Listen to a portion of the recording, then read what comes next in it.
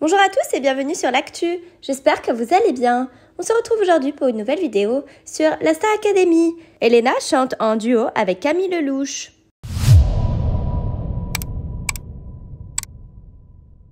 Ce soir, le thème de la soirée est carte blanche. Les élèves ont pu décider sur quelle chanson ils vont pouvoir montrer leur grand talent de chanteur.